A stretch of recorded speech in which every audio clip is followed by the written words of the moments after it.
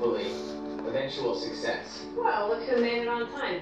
Well, feel free to talk as fast as you want. I have an anonymous note taker now, but I'm pretty sure it's excited, Evelyn. All the exclamation points were a giveaway.